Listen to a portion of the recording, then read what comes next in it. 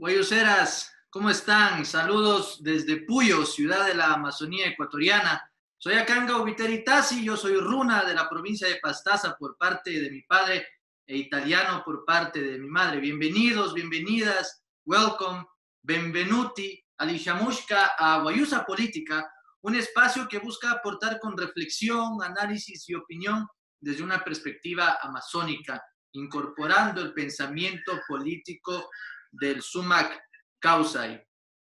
Hoy dialogamos con una importante académica, pensadora y, para suerte mía, eh, socióloga, así que a nivel personal va a ser muy enriquecedora esta conversación, porque yo también estoy estudiando sociología. Ella ha escrito varios libros, varios ensayos, ha, ha dictado varias conferencias, se especializa mucho en el tema de la colonialidad, neocolonialismos, el tema de cultura, identidad, y fue también ministra eh, de Cultura. Ella es Erika Silva Charvet. Es un gran honor y un gusto para nosotros contar con ella en esta Guayusa Opina de este día miércoles. Sil, Erika, ¿cómo está? Muy buenas noches. Muy buenas noches. Muy buenas noches, Acangau. Este, muchas gracias por, por invitarme y ponerme en contacto con los amigos guayusas, amigos y amigas guayusas que tú estás este, saludando con tanto entusiasmo. Y a los, compañeros y compañeras eh, y, y, hermanos amazónicos y hermanas amazónicas también muy buenas noches. Un gusto estar aquí. Muchas gracias, Erika. Realmente también para nosotros es un gusto. Eh, antes de empezar, digamos, a hablar de lo duro, eh, ¿cómo está usted en este confinamiento, en esta coyuntura de pandemia, en esta coyuntura política? Eh, ¿Cómo le ha sentado el confinamiento en general? Bueno, ha sido, ha sido una experiencia porque estoy en el confinamiento, pero estoy trabajando, ¿no? Estamos en clases en la Universidad de Central, soy profesora estamos en clases virtuales. Ha sido toda una experiencia de adaptarse al mundo virtual, al mundo digital, preparar clases, aprender cómo hacer las aulas, eh, comunicarse con los, los, los y las estudiantes es duro porque, bueno, estás detrás de una computadora y no sabes cómo estarán ellos y ellas, ¿no? Entonces, eh, pues es difícil. Eh, en todo caso, este, adaptando. Uno tiene que aprender a adaptarse y sobre todo cuidarse en este momento, ¿no? Porque la verdad es que es un momento duro, no sabemos cómo está en realidad eh, eh, la salud en el Ecuador. las cifras, las cifras son falsas por lo que se ve, ¿no? Son falsas, las cifras no son veraces y entonces no sabemos realmente cuál es la magnitud del contagio, la magnitud de los muertos, y en fin, ¿no? Las decisiones que toma el gobierno son sin una base científica, sin datos, entonces realmente por eso hay que tomar precauciones, ¿no? Así es, bueno, eh, creo que no solo en términos de la pandemia, sino que el gobierno tiene un secretismo, está manejando el secretismo de Estado, ¿no? Como política eh, en torno a, muchísimos, a muchísimos temas, ¿no? Usted dio un saludo muy especial acá a los amigos y a los, a los guayuseros y a las guayuseras de la Amazonía. La Amazonía no es ajena para usted, ¿no? Usted eh, ha estudiado, o sea, quiere decir, ha estudiado la Amazonía, ha investigado. Eh, ya hablaremos un poco sobre eso, pero cuéntenos eh, un rato sobre su paso por aquí en la Amazonía como, como socióloga, como politóloga. ¿Cuál ha sido su experiencia? Bueno, yo estuve en la Amazonía en el año, me parece que 2000, 2002, 2003, estuve haciendo una consultoría para, para una ONG eh, y justamente hice una, un, un, pequeño trabajo de sistematización de la experiencia de la OPIP, ¿no? Eh, entonces, eh, conocí, por ejemplo, el modelo de manejo de recursos naturales de los quichuas del, del Pastaza, ¿no? que fue para mí un, descubrimiento muy inspirador. Ahí justamente está todo el modelo de manejo basado en el suma causa. ¿no? Entonces, para mí fue un descubrimiento, no, no, no había conocido yo esto y eh, pensar que este, esto fue hecho por los propios intelectuales quichuas del Pastaza, para mí fue una maravilla porque es un, trabajo realmente extraordinario el que ellos hicieron, ¿no? Eh, y evidentemente ese, ese, ese trabajo que, que, se hizo ese equipo de la OPIP fue, la, fue una de las bases eh, metodológicas, teóricas, para comprender cómo estaba el, el manejo del, del, territorio quicho del Pastaza. Lamentablemente no pude ir hacia el Curará y a Sarayacu, que quería ir, pues no me iban a llevar allá en una avioneta, pero el clima no permitió. Y entonces eso, eso quedó como una espinita ahí clavada, no haber podido ir por allá, por esos territorios hermosos, ¿no? Bueno, sí, el clima aquí en Puyo es bastante, es no es muy generoso a veces y peor cuando uno está con ganas de, de visitar eh, las comunidades eh, indígenas, ¿no? De los runas, de los sarayacurrunas, de, de, del Curaray, por allá, que además es una zona lindísima, yo la conozco. Pero bueno, vamos a hablar un poco sobre su experiencia aquí. Eh, ¿qué, ¿qué, le parece si ya eh, tomamos Guayusa y entramos eh, claro. a lo que hemos venido a conversar aquí, ¿no? Que es justamente el tema del racismo en el discurso político eh, ecuatoriano, ¿no? yo leí un artículo suyo eh, en Ruta Crítica y, y bueno, dije, hay que, dije, bueno, tengo que conversar con ella, tengo que, que dialogar con ella porque realmente es, es, es algo eh, urgente, ¿no? Es algo que nos atañe, digamos, a la, que atañe a toda la sociedad ecuatoriana, ¿no? Porque además, eh, a veces este tema del racismo eh, provoca cierta incomodidad aquí en la sociedad ecuatoriana, porque siempre tenemos, ¿no? Esas, el pero después, después de que una persona dice, yo no soy racista, pero lo, acompaña con eso y, e inmediatamente se, se, derrumba, digamos, todo su, toda la sentencia anterior. ¿no? Entonces, creo que no hay dónde perderse cuando decimos que la sociedad ecuatoriana es racista, ¿no? Porque eso se refleja en el Estado, en sus instituciones, es visible en la cultura, es visible en los espacios, en la vida cotidiana, en el lenguaje cotidiano y también en el lenguaje político. ¿no? Quizá el, el racismo es un sentido común que permite que se perpetúe el dominio hegemónico colonial en nuestras sociedades. Em, ¿Cómo podemos explicar el racismo en Ecuador para ir, digamos, metiéndonos más a profundidad en este tema? Bueno, em, como tú mismo señalas, pues el racismo es un fenómeno estructural, ¿no? Es un fenómeno estructural porque, eh, digamos, fija la condición y la posición de inferioridad en términos del acceso, de igualdad de oportunidades de las grandes masas indígenas, afrodescendientes, montubias, cholas en este país, ¿no? Entonces, por ese lado es un racismo estructural, está fijado por una historia estructural, una, un modo de vida económico que se ha ido estructurando desde la época colonial, ¿no? Eh, pero por otro lado tenemos un racismo también que se instala, que es la herencia que viene de las superestructuras coloniales, de la mentalidad, de, las ideologías, de la cosmovisión, ¿no es cierto?, que está instalado en, eh, el, imaginario, que está instalado en las actitudes, que, estimula y genera, digamos, eh, predisposiciones, costumbres, este, comportamientos de las personas, ¿no? Ahora, yo eh, creo ¿no? que eh, en el mundo actual ha habido una activación, una reemergencia del racismo, del racismo en el discurso político, ¿no?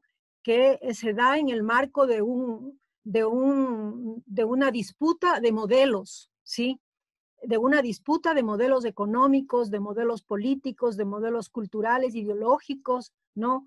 Que es la disputa entre el dominio del gran capital monopólico, del capital financiero, ¿no? Sobre el mundo, sobre, sobre todo sobre las regiones eh, del tercer mundo, nuestras regiones, ¿no? El sur. Y por otro lado, la lucha dentro de esos mismos países del norte y de nuestra región de modelos alternativos, de nuevos modelos, ¿no? Que, que, rompan con ese dominio, ¿no? Entonces, y, y además, digamos, esa, esa disputa de modelos también tiene cómplices criollos, que son las burguesías oligárquicas dentro de nuestros países, pues que también eh, desarrollan discursos, eh, digamos, basados en, esta jerarquía ¿no? de superioridad, de inferioridad, eh, basada en la racialización de determinadas poblaciones, ¿no es cierto? Entonces, en ese sentido, pues, por ejemplo, vemos esta activación del racismo en el discurso político, pero abierto en, el caso de Bolivia, ¿no? En el caso de Bolivia vemos que ese patrón, ¿no? Ese patrón eh, colonial, esa colonialidad, es una colonialidad enraizada, el momento en que, digamos, se, modifica la relación de poder, ¿no? Por parte de las poblaciones indígenas movilizadas que acceden al poder del Estado, y que cambian esa relación de poder en el que siempre estuvieron, eh, digamos, en una posición de superioridad los, los blancos y hasta los blancos mestizos, incluso de la clase media tradicional, como hablan los bolivianos, ¿no?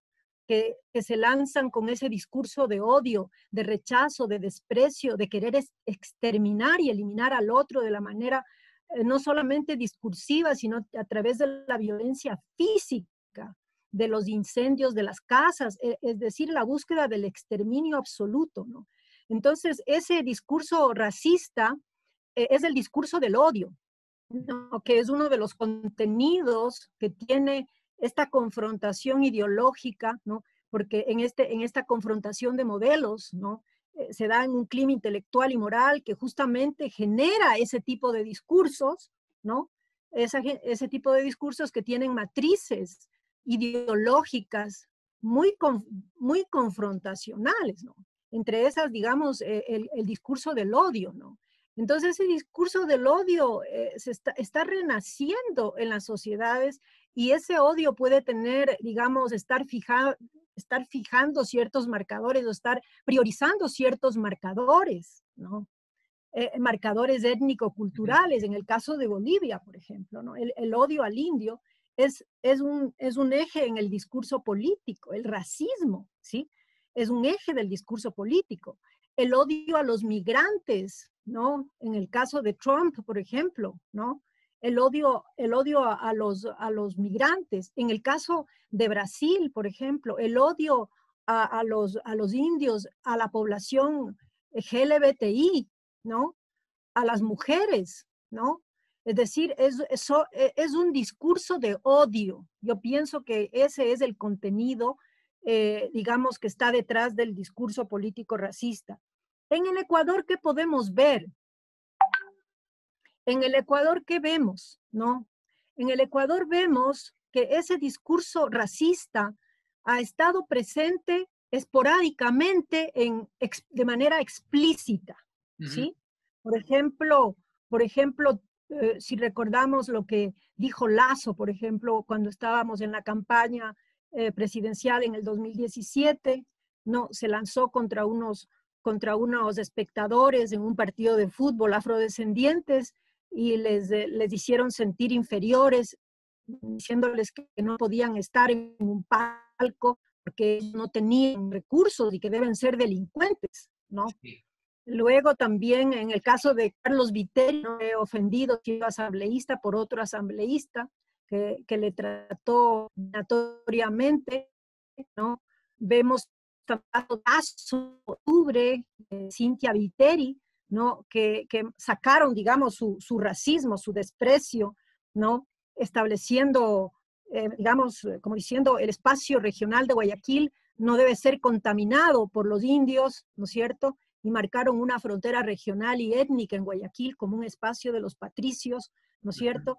Como un espacio que, un espacio que no debe ser contaminado por, por, por, los, por los indios serranos que están en el páramo.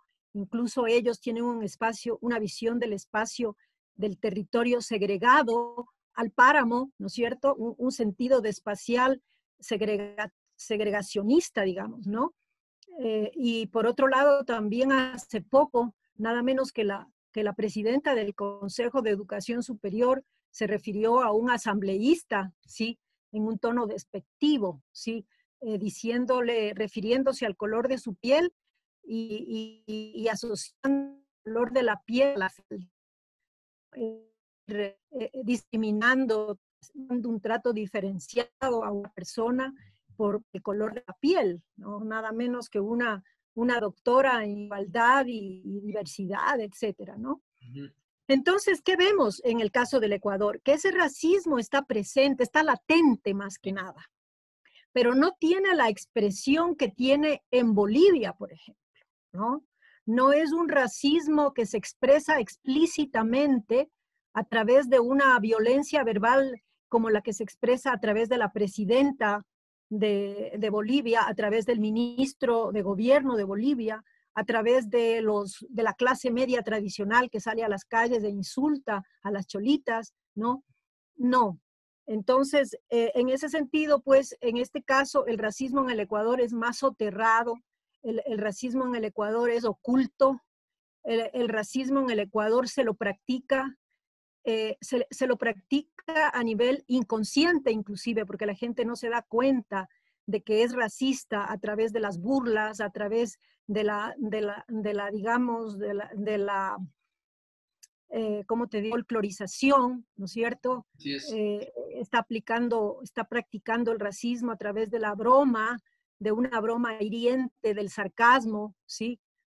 Eh, es decir, hay, hay formas muy sutiles de expresión del racismo que la gente, que digamos los propios practicantes, los propios emisores de esos discursos no se dan cuenta, ¿no?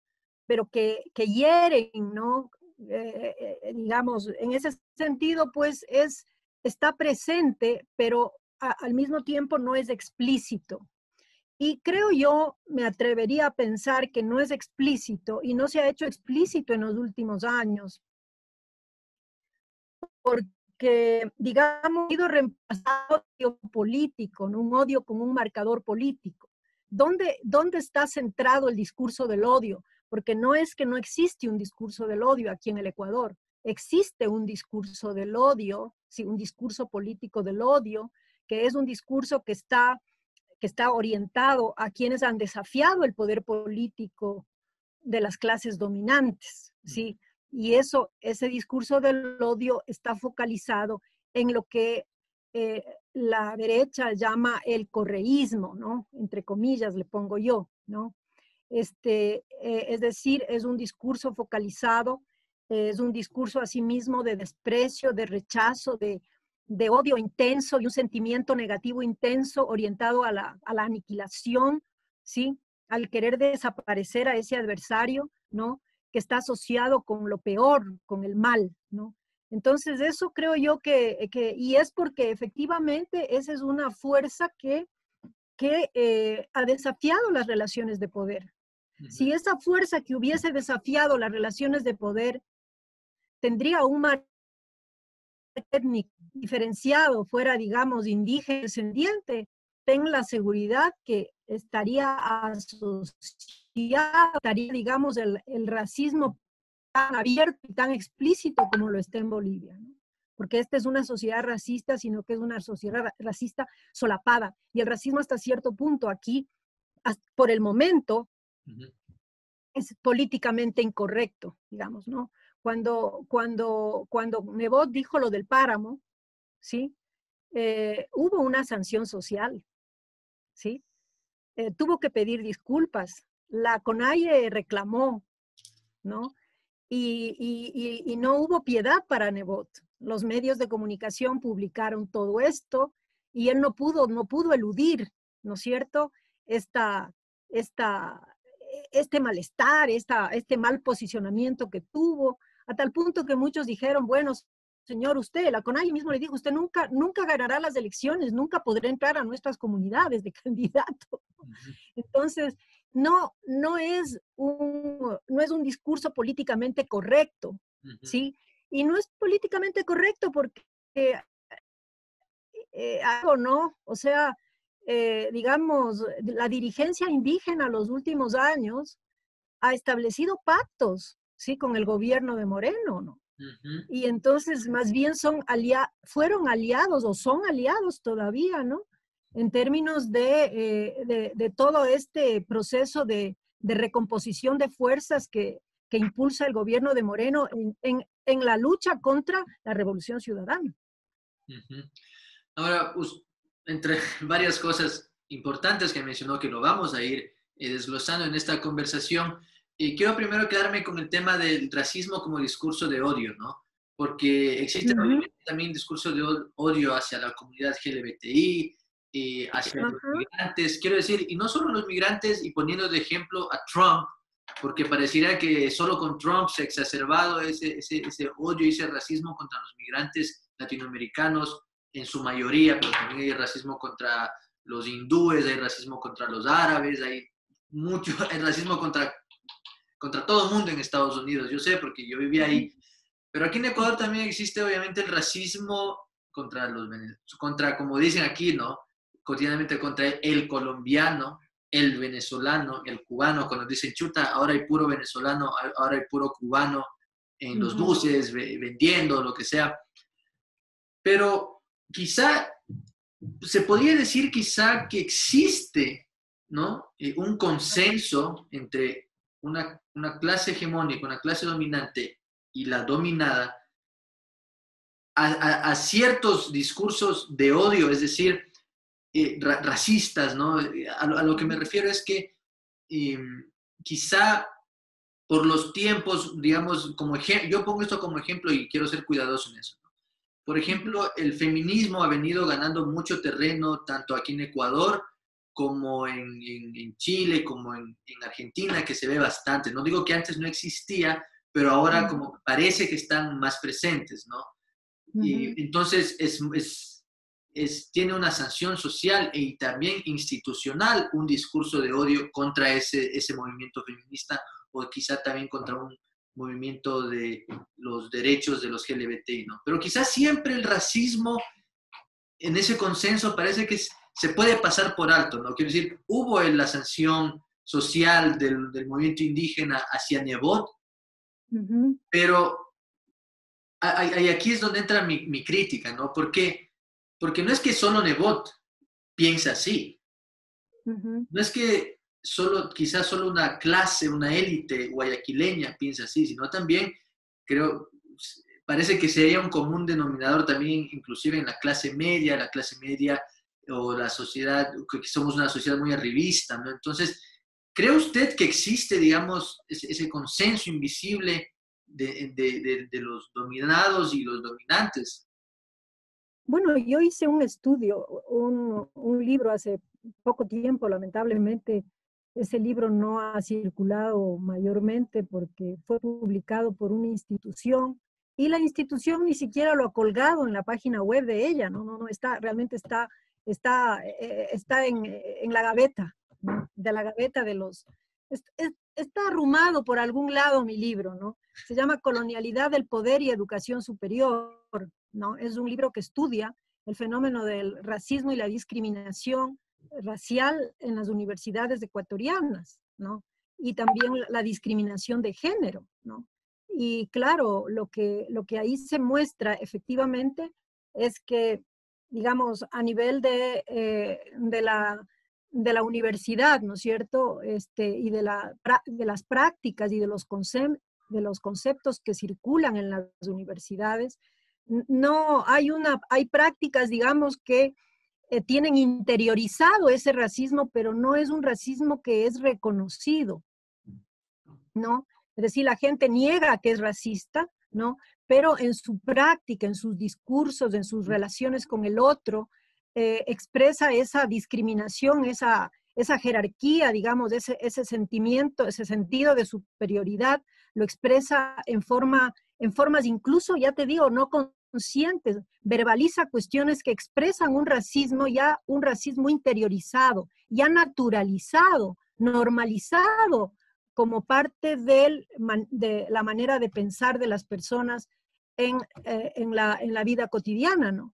Y por otro lado, no se ven como políticas dentro de la, de la institución, de las instituciones, fueron nueve instituciones, nueve instituciones de educación superior, no se ven políticas que combatan eso, ¿sí? a través, por, ejemplo, del fomento de la interculturalidad, de la, de la lucha contra la discriminación racial.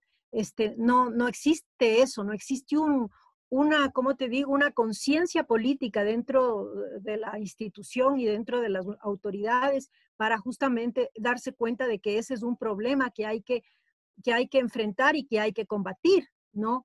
Entonces, eh, hay, hay, docentes que practican abiertamente un racismo en clase, ¿sí? Eh, y hay estudiantes que lo tienen que soportar, eh, este, estudiantes que establecen relaciones, digamos, discriminatorias con sus compañeros y compañeras en, en, formas, por ejemplo, la burla, el chiste, ¿no? La, la futbolización de los afrodescendientes, ¿no? El, el desprecio a la vestimenta, etcétera, etcétera, ¿no? Múltiples eh, discriminaciones por determinados marcadores étnico-culturales, la forma de hablar, la forma de comer. Es decir, son, son, ah, son digamos, prácticas en la vida cotidiana que, sin embargo, eh, no están incorporadas, naturalizadas en los comportamientos, en las actitudes y en las mentalidades. Entonces, no es algo, digamos, no es algo, ¿cómo te digo?, eh, estrepitoso, ¿no? Sino que es más bien algo que se va dando de manera naturalizada, normalizada en la vida cotidiana y que no, y que no genera, digamos, estallidos, no genera escándalos, no genera eh, grandes asombros, ¿no? sino que es algo que está como interiorizado. Entonces, evidentemente que, claro que, que, que, existe una especie de, de, ¿cómo te digo? primero, digamos, una negación en términos de que se considera eso como algo atrasado, como un, concepto que, no se debe, que no debe existir en la sociedad. Es decir, socialmente es mal visto eh, que alguien se diga yo soy racista. ¿sí? Nadie va a admitir eso. En las encuestas sobre racismo, el 80% dice que no es racista, ¿sí? Pero pero digamos, siempre dice que el 60% es racista. es decir, yo no soy racista, pero la mayoría de la población es racista, ¿no? Tú te salvas, pero el resto es. Entonces tú percibes que el otro es racista, pero tú quieres salvarte de eso, ¿no? El problema es que esa es una estructura mental que está absolutamente interiorizada en la subjetividad, que ha sido, que ha sido digamos, eh, eh, y, como te digo, eh, interiorizada desde que eres niño, niña, en el seno de tu familia, en la escuela, en el colegio, llegas a la universidad y sigues practicando, escuchas de los profesores y profesoras, pasas, vas en la calle, encuentras, te subes al bus, en fin, es, es toda una experiencia social histórica que, que viene de atrás. Entonces realmente se necesita una conciencia política, una política pública eh, no solamente la política pública, sino fomentar en las instituciones para luchar, ¿no es cierto? Y combatir, eh, ¿cómo haces? Porque está también en el seno de las familias eso, ¿no? Entonces, evidentemente que efectivamente esta es una sociedad discriminatoria, ¿no?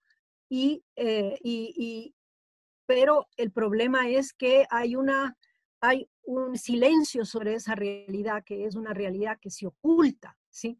Que por lo tanto, pues, eh, tú, tú ves, ¿no? Que el discurso político no explicita cuando esta señora Vélez dijo lo que dijo sobre este presidente de, de una comisión, de la Comisión de Educación de la Asamblea Nacional, se armó, pero eh, el, el, ¿cómo se llama?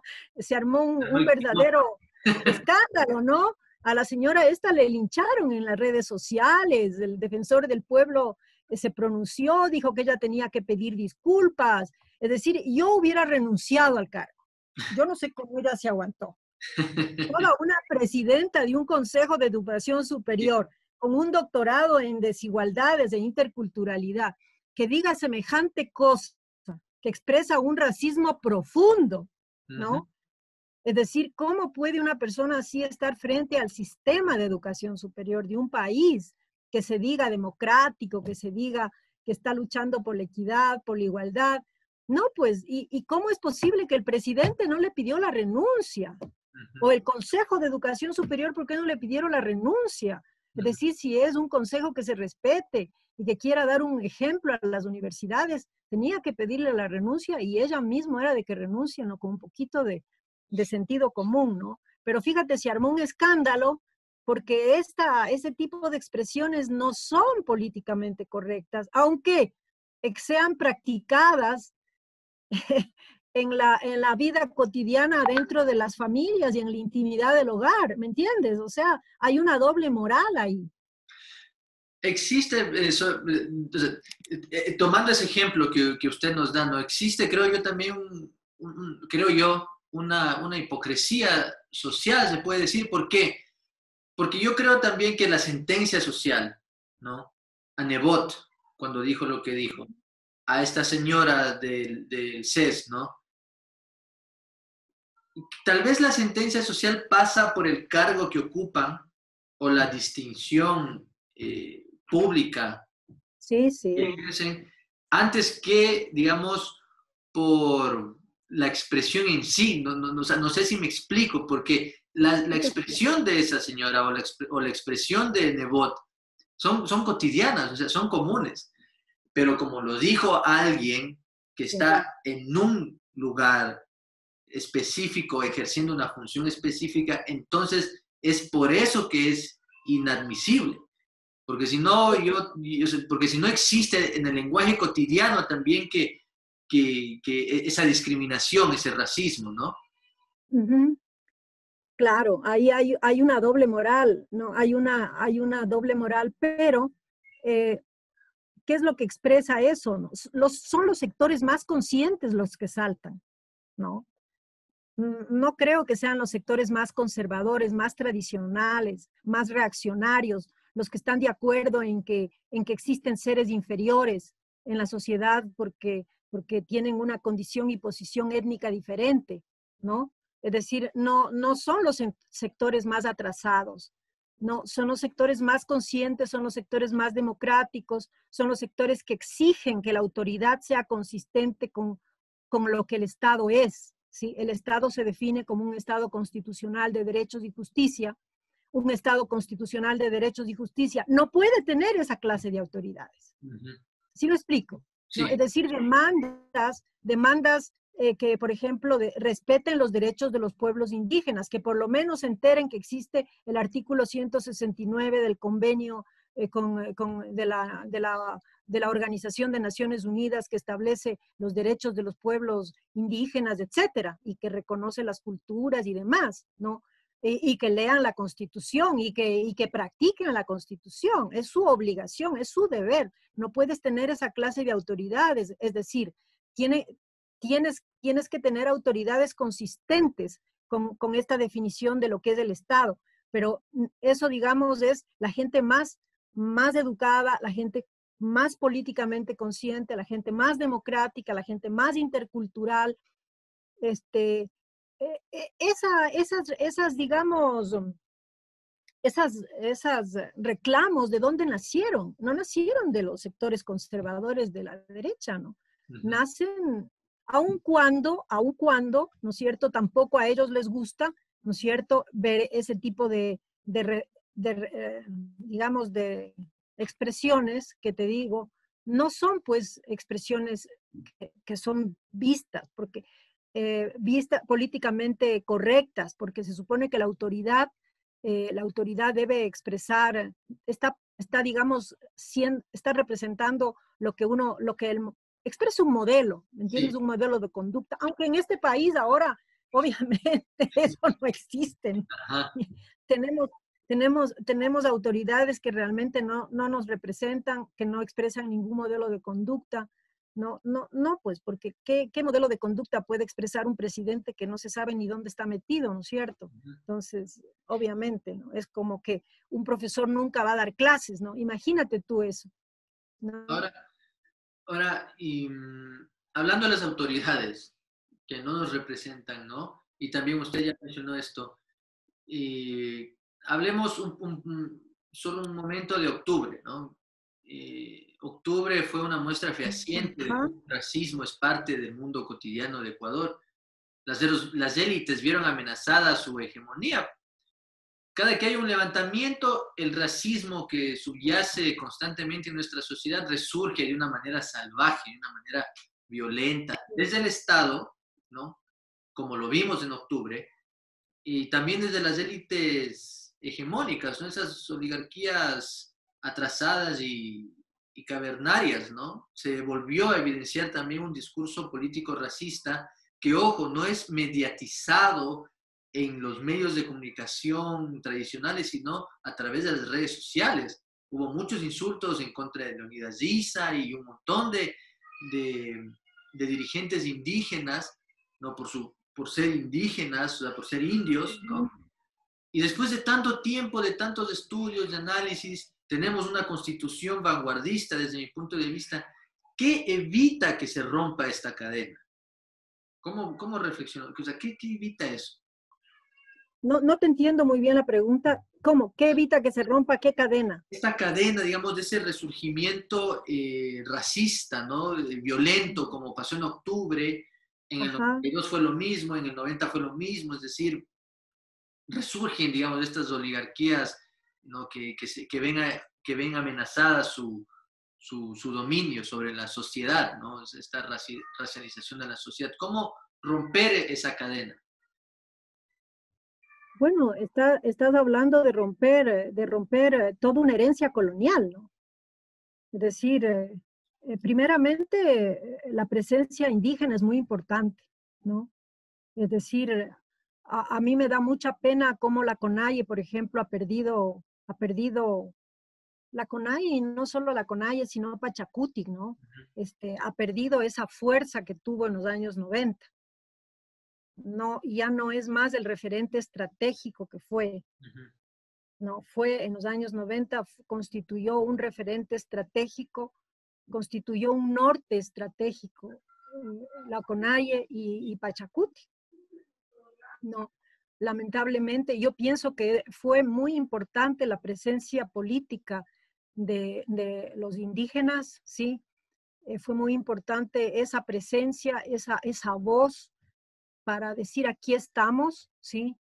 Y nosotros tenemos nuestra propuesta para todo el Ecuador, porque la propuesta de un Estado plurinacional e intercultural no es solo para, para una población indígena, es para todo el Ecuador, ¿no? Para todo el Ecuador y los ecuatorianos y ecuatorianas. ¿no? Lamentablemente, pues yo veo que esa propuesta ha ido, ha ido, digamos, evolucionando o involucionando hacia, no sé, unas visiones más corporativas, ¿no? De, del Estado, o sea, ocupemos ciertos, ciertos espacios, así como, qué sé yo, los partidos políticos pueden ocupar espacios o las cámaras de la producción pueden ocupar espacios, entonces nosotros también ocupamos espacios. No, eso es un Estado corporativizado, ¿no? no es un Estado plurinacional. Entonces yo sí creo que es muy importante para romper eso, ese patrón de poder colonial que todavía persiste, la colonialidad del poder, ¿no es cierto? Este, eh, necesitamos, se necesita una presencia soberana, una presencia fuerte, eh, estratégica de, la población indígena y, una alianza de esa población indígena con sectores progresistas, con sectores populares, ¿no es cierto? Eh, que, como los sectores mestizos, que, tenemos sangre indígena, Dios mío, este país, ¿no? ¿De dónde nacimos los mestizos, pues? ¿No? Eh, nacimos de nuestros ancestros indígenas que están ocultos en la memoria de nuestras familias. Porque eso es lo que sucede con el mestizaje en general. Tú felizmente tienes una conciencia de tu origen quichua, de tu origen runa, pero la mayoría de, la población mestiza que heredó, que tiene sus ancestros runas, ¿sí? Olvidó en, el proceso sus familias que cambiaron de apellidos, ocultaron sus ancestros. Y esa es la realidad del mestizaje ecuatoriano, ¿sí? Esa es la realidad, pero, por ejemplo, yo tengo muchísimos estudiantes, muchísimos estudiantes, que tú les ves mestizos, tienen apellidos indígenas algunos de padre y madre. ¿Cómo se definen ellos y ellas? Mestizos, ¿sí? No, pero de, dónde están? Sus raíces son, son, son quichuas, ahí están, ¿sí? Tal vez ya no hablan la lengua, tal vez se olvidaron de su cultura o practican la cultura o fragmentos de esa cultura o toda la cultura, pero la ocultan, como tú sabes, ¿no? una profesora de la Politécnica narraba que un estudiante indígena de la Politécnica Nacional y en la Politécnica Nacional decía que se contaban con los dedos de la mano los indígenas y afrodescendientes. Decía que el, estudiante pues pasó todos los años con muy buenas notas, ¿no? Y, y, todo, él como, como un cualquier estudiante mestizo, ¿ya? Pasó durante los, todo el tiempo que estuvo estudiando, ¿no? Y el día que se graduó apareció vestido de indígena. Esa era su vestimenta propia.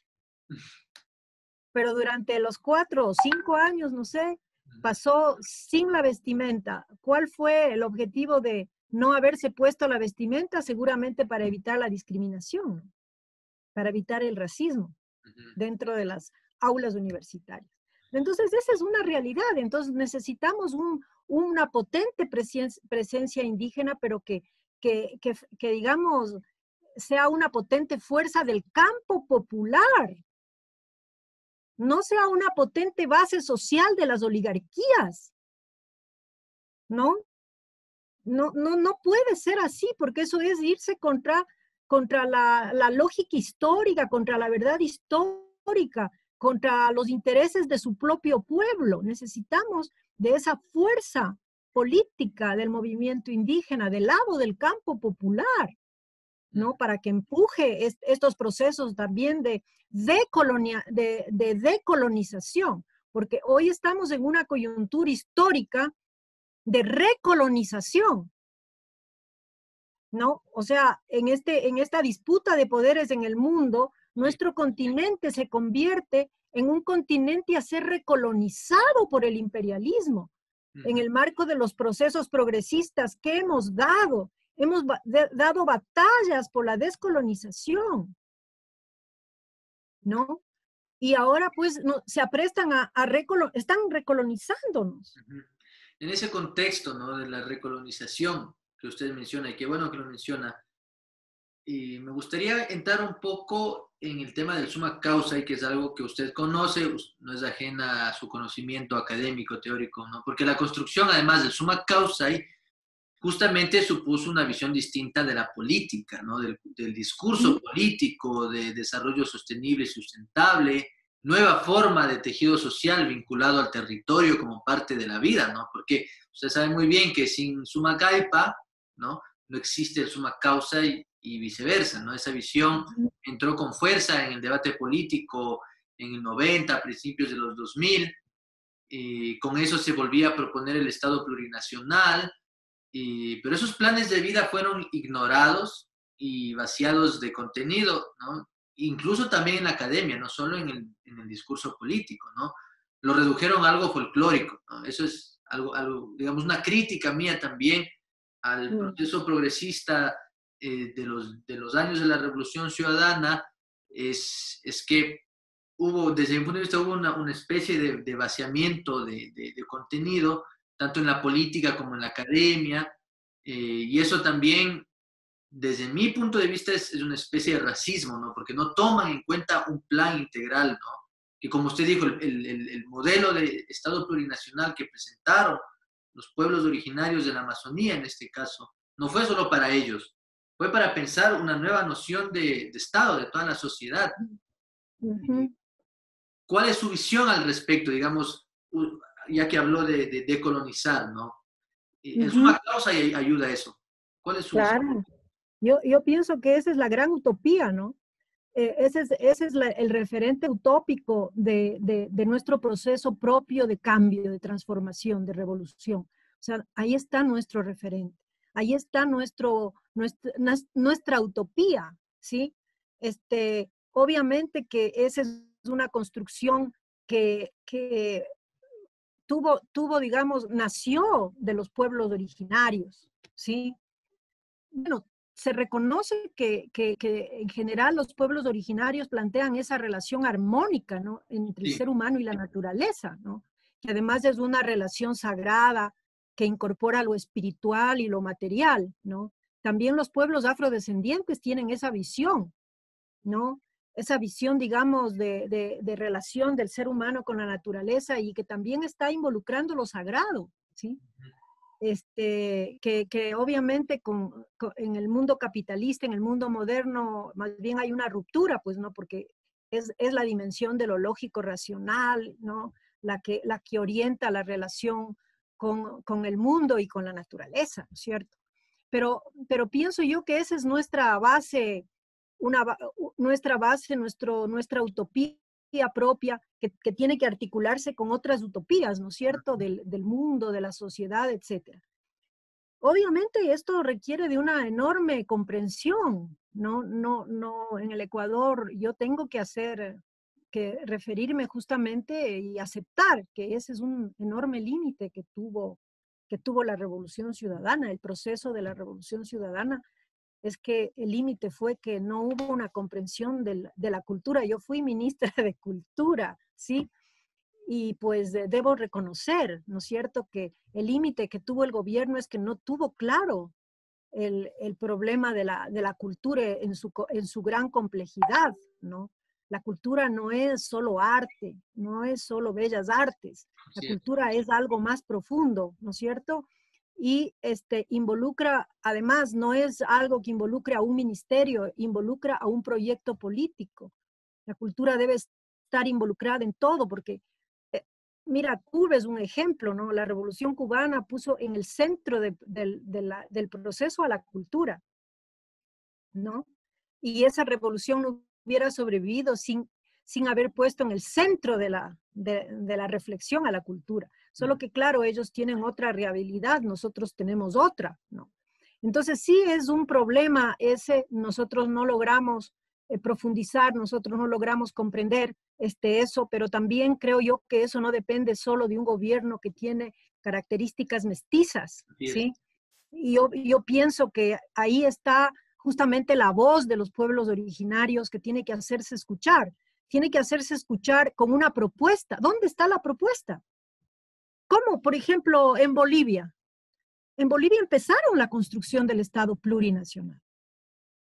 No te olvides, ellos se definen como, se definieron como una revolución democrática y cultural y el Estado plurinacional de Bolivia, ¿sí? Plurinacional y pluricultural. Entonces, ellos sí incorporaron eso y empezaron a construir ese Estado, ¿no? Con la participación de las comunidades, ¿sí? Ellos empezaron a, un proceso de descentralización de, territorial, reconociendo las autonomías, en fin, una serie de procesos que nosotros aquí ni siquiera hemos soñado todavía.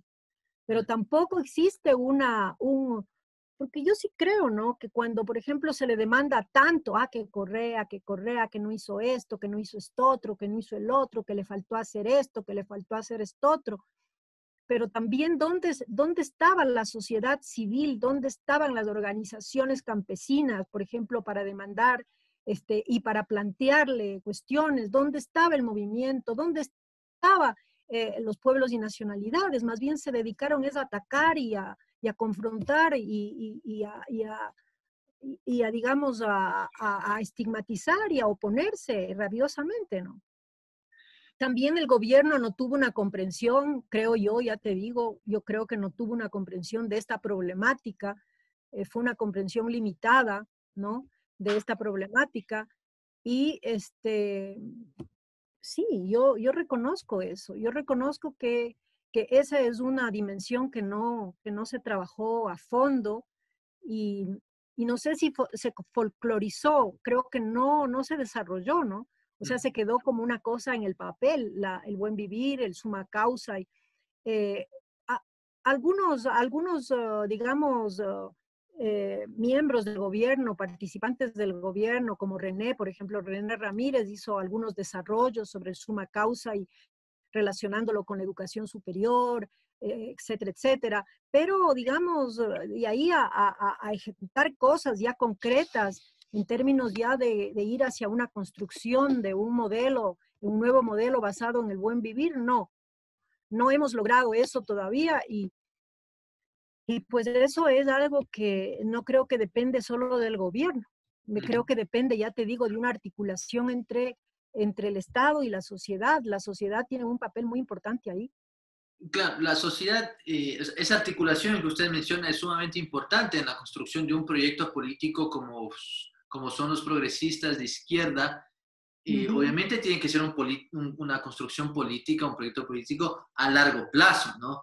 Claro, claro. Usted debe conocer, inclusive más que yo, a pesar de que em, yo soy de acá, de la Amazonía, eh, tengo el orgullo de decir que, que en los 90 mi padre fue un, fue uno de los primeros ideólogos académicos del suma causa y que lo propuso académicamente, pero quizá también, porque ¿dónde recae también mi crítica al proceso de la Revolución Ciudadana, al primer proceso de la Revolución Ciudadana?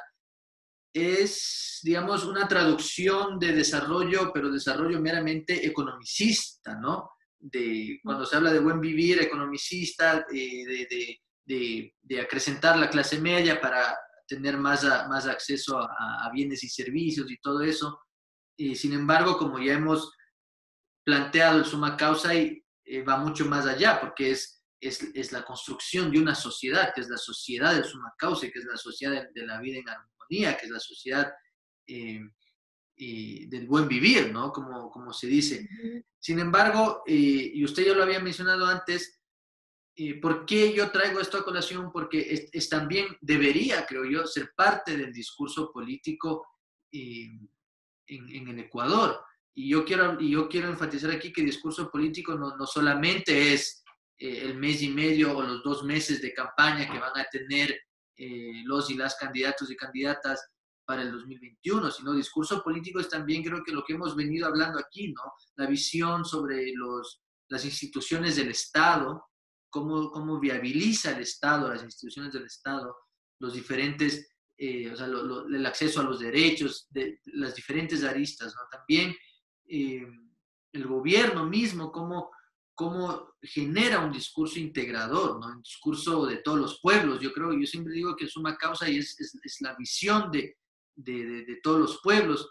Pero sin embargo es, es algo, es algo no tomado en cuenta por un lado, vaciado de contenido por el otro, incluido en la academia. Pero también existe esta folclorización del discurso político, ¿no? Y esta que ya usted ya mencionó, la folclorización también de que básicamente, yo qué sé, estoy seguro que, que Guillermo Lazo tiene un asambleísta indígena más allá de la afinidad ideológica, porque para que vean que yo, aunque soy un ricachón de la élite de Guayaquil, soy incluyente con la diversidad ecuatoriana. Eso también es discurso político, quiero decir, no solo lo que se dice o lo que no se dice, sino los, gestos. sino los gestos, con quién tú te paras, quién tú pones en la rueda de prensa o quién tú pones en la presentación de tu plan de gobierno, ¿no? Entonces, eh, eso creo que también podríamos tomar en cuenta como discurso político. ¿Cómo usted explicaría, digamos, esa construcción de imágenes racializadas del discurso político? Primero, primero partir del hecho de que la población indígena no es homogénea, ¿no? Eh, tenemos que reconocer que dentro de la población indígena hay una diversificación social, hay una diferenciación social, la categoría de diferenciación social que es la, la, digamos, el aburguesamiento o la proletarización de los sectores indígenas, ¿no? Entonces tenemos eh, eh, hay estudios que se han hecho sobre la burguesía indígena otavaleña, por ejemplo, ¿no? que es, son sectores acomodados de comerciantes, de exportadores, de artesanos, ¿no? que, que ya, digamos, es un sector indígena diferenciado. Tenemos una gran categoría de intelectuales, profesionales indígenas, ¿no? Como podríamos decir, son sectores pequeño burgueses, clase, este, eh, clases medias o lo que tú quieras llamar, trabajadores asalariados no proletarios, profesionales, qué sé yo, ¿no? que es un segmento importante que está, está presente en la burocracia, en organismos internacionales, ¿no? en el Estado, están integrados a través de ONGs, ¿sí? Eh, eh, también tienes de una masa de, de campesinos empobrecidos, proletarios, ¿no? eh, semiproletarios. Entonces ya no estamos hablando del indígena del siglo XIX que estaba adscrito a las comunidades y que era un guasipunguero en la mayoría de los casos. ¿sí? Estamos hablando de una población indígena diferenciada que expresa intereses distintos. Entonces, esta es una realidad, por eso es que puedes, se puede encontrar indígenas que se adhieren a, los, a las tesis de la derecha. Y tenemos ahí algunos legisladores que están ahí integrando las filas de los creos y así por el estilo, ¿no? Y que obviamente ahí hay intereses comunes, ¿no? Están, están, están digamos, compartiendo una, quizás una comunidad ideológica, eh, un proyecto político, de, neoliberal a favor del neoliberalismo, qué sé yo, ¿no? Entonces, eh, es decir, efectivamente eh, puede ser que la burguesía, ¿no es cierto?, manipule esas imágenes y esas identidades, ¿no? Pero también del otro lado hay una, una política de identidad, un etiquetaje identitario, ¿no es cierto?, que también está mercantilizando su identidad. ¿No? Entonces tienes, tienes eh, digamos, personas que, ya han pasado por un proceso de mestizaje, que, pero vuelven a reinventarse eh, eh, con identidades indígenas. Cambian de nombre, se, se afirman sus marcadores étnicos, ¿no? ¿Y, y, qué, ¿Y por qué lo hacen? Porque, digamos, es políticamente correcto, digamos, ¿no? Tiene, tiene ventajas políticas, porque ahora pues hay cuotas políticas, ¿no? Eh, política de cuotas por identidad étnica, por discapacidad, por ser de mujer, etcétera. Los pobres hombres mestizos están, están fritos, como decía un amigo, ¿no? Ahora soy, yo soy hombre y soy mestizo y estoy frito.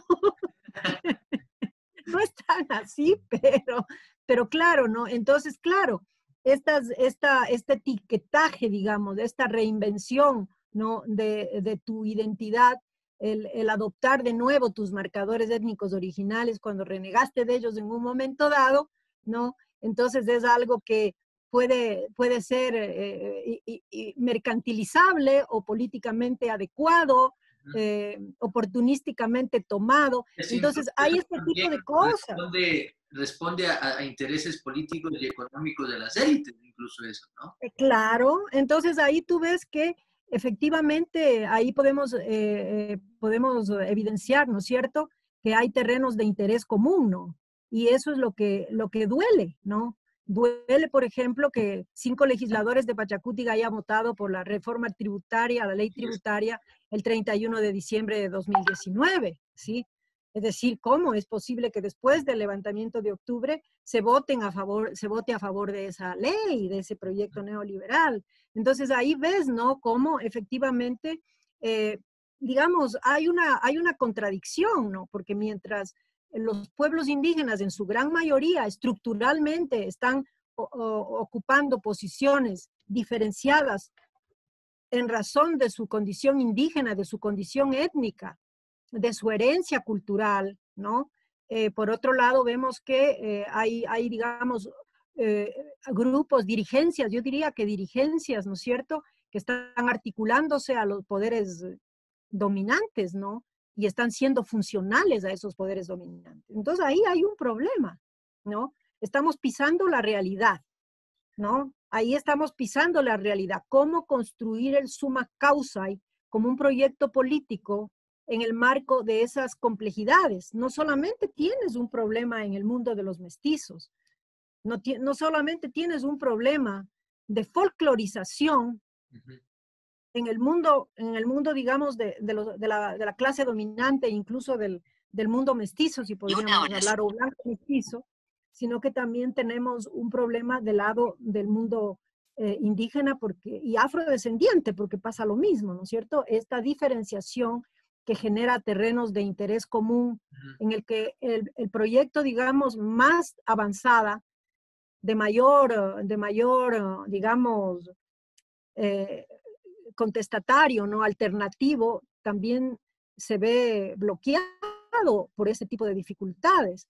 Pero obviamente hay que avanzar y creo que ese, esa es una tarea también de la intelectualidad, ¿no? De la intelectualidad quichua, ¿sí? De la intelectualidad mestiza que comprende esto, ¿no? Entonces, eh, hay que empujar por ese lado también, porque si no, ¿cómo? O sea, no todos, no todos los, eh, por ejemplo, la gente que hoy, hoy, hoy, hoy está en el progresismo, no todos tienen clara la película. Es, es una cuestión compleja, ¿no? Es decir, esta es una cuestión que, que, que no, no, la tenemos todavía muy clara, ¿no? Yo quisiera leer, por ejemplo, alguna propuesta de, del, del, del, movimiento indígena sobre esto.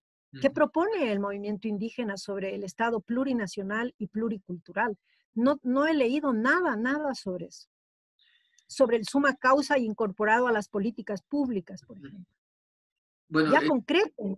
Eso, eso creo que, que es tarea pendiente, ¿no? Eh, ¿Sí? Rápidamente, me, como nos ven en Facebook, me acaba de llegar un, un, mensaje que me parece importantísimo, porque más quiero saludar porque nos están viendo desde Sarayacu, desde la selva, donde son. ¡Ay, qué chévere, qué chévere! Avión eh, específicamente a Franco Tulio Viteri Walinga, él es primo mío y un importante dirigente de Sarayacu, eh, y él comenta, ¿no? Y me parece importante justo eh, con lo que usted decía, es verdad, debemos movilizar las propuestas con el Estado para hacerles comprender argumentadamente y con las leyes, pero necesitamos alfabetizar al Estado y la sociedad sobre los conceptos que usamos al plantear el Estado plurinacional incluso al pueblo indígena, que también actuamos con tintes excluyentes, dice.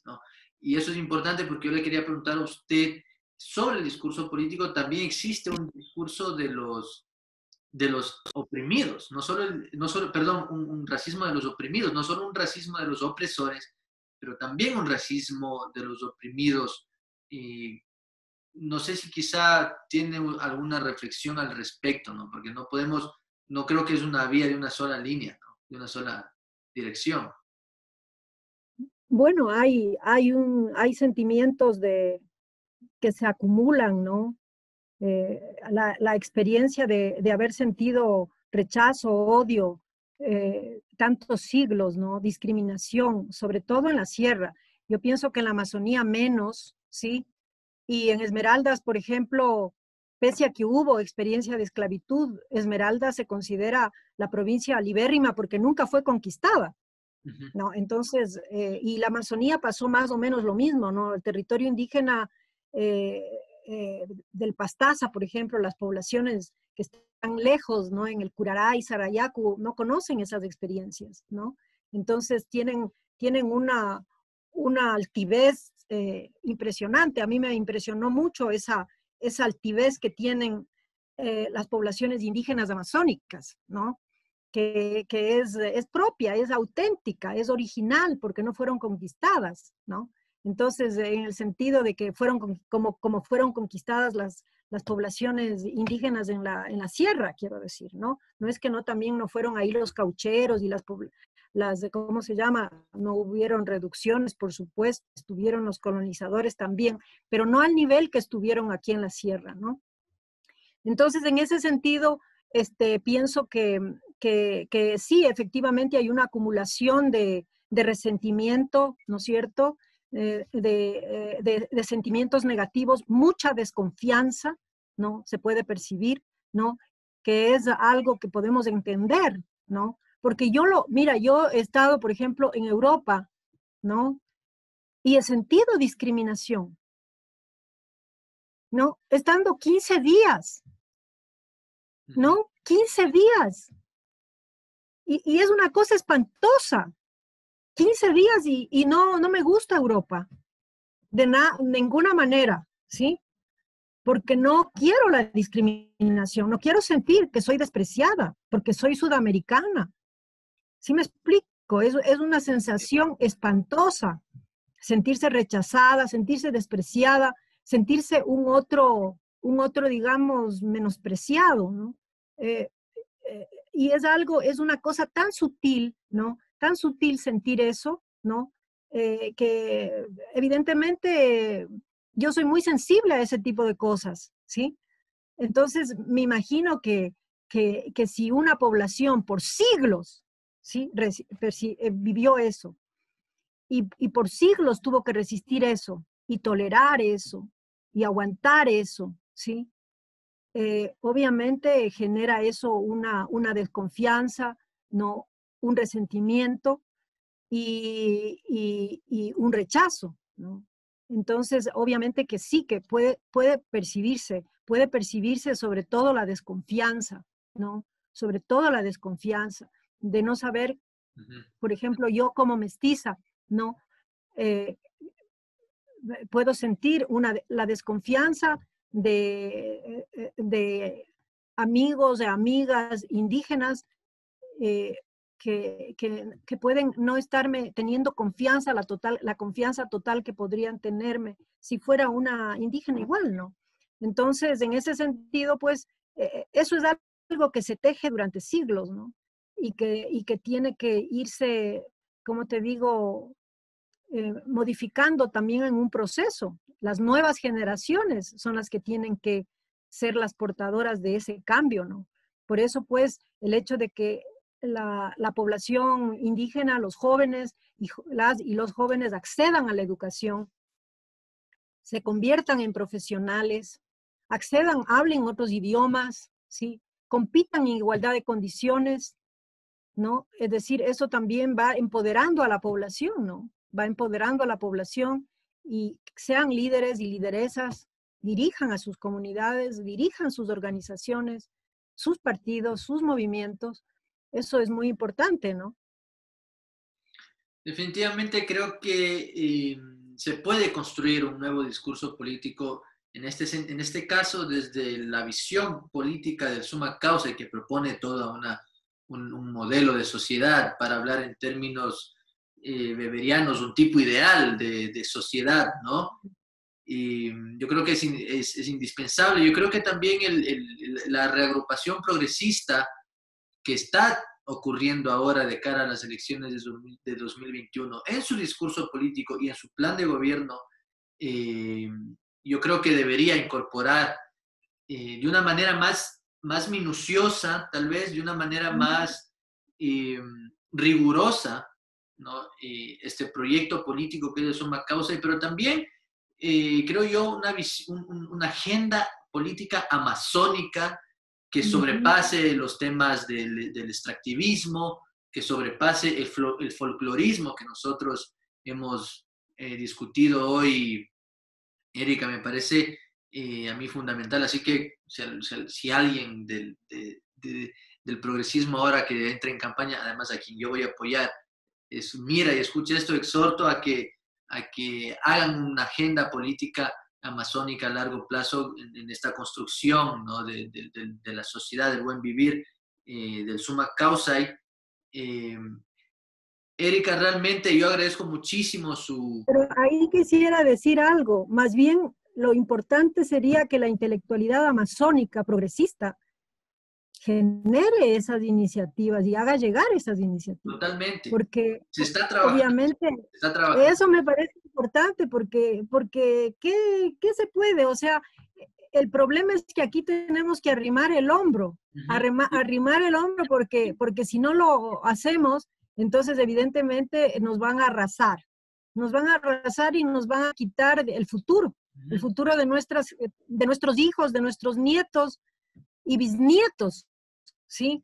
Entonces, indudablemente, eh, porque el modelo neoliberal, tal como ellos quieren implementar, viene por todo lo que, lo que, lo que, viene por todo, ¿sí? Viene por todo y no les importa nuestra vida, no les importa nuestro futuro, no, no les importa nuestro bienestar. Yo digo que, que el neoliberalismo y el proyecto de la derecha es la expresión de ese proyecto, son los cadáveres tirados en Guayaquil. Para mí es eso la expresión más, más, digamos, descarnada de lo que es la política neoliberal que este gobierno ha llevado y que ha sido, digamos, la expresión de la, eh, eh, el, el, mundo, el mundo oligárquico, de las fuerzas oligárquicas y de los partidos de la derecha, ¿no? Así es, así es. Yo concuerdo totalmente con, con usted, Erika. Eh, se está trabajando aquí en Amazonía, se está trabajando para eso porque creo que se presentan nuevas oportunidades históricas y que se pueden enmendar del proceso anterior, ¿no? Que se pueden enmendar, que se pueden sumar. Entonces, se está trabajando en eso. Yo quiero agradecerle muchísimo, Erika, por haber, por, por su tiempo, por haber compartido con nosotros esta guayusa política, esta guayusa upina. y espero que no sea la última vez. Siempre es importante eh, ir desentrañando temas que parecen que, que, que, no son muy, muy coyunturales, ¿no? Estamos muy acostumbrados a la coyuntura que en la mañana sale una noticia y en la tarde ya no es noticia porque sale otra, eh, pero hay que realmente desentrañarnos como sociedad justamente para, para tomar decisiones trascendentales como la que será en, en, en febrero de 2021, ¿no?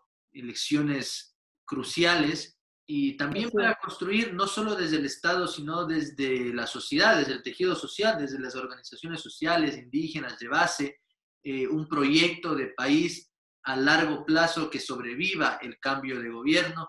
Em, realmente le, le, agradezco mucho, Erika. No sé si tal vez tenga un mensaje final. Bueno, amigos y amigas guayusas de la Amazonía, un gusto haberme comunicado con ustedes por lo menos de manera virtual, pero parece que es más fácil comunicarse de manera virtual que física, ¿no? Por lo menos estoy llegando a estos compañeros y compañeras de Sarayaku, qué lindo. Este, saludos a todos y todas por allá, un, un, gran cariño, una gran admiración por, por, toda su historia, ¿sí? Por toda su historia. Y pues, eh, digamos, eh, bueno, eh, este, espero pues que también sean fuerzas muy activas en, eh, en, la colaboración, en el pensar, digamos, este suma causa en este proceso para justamente lo que dice Akangau, Akangau o Akangau. Akangau.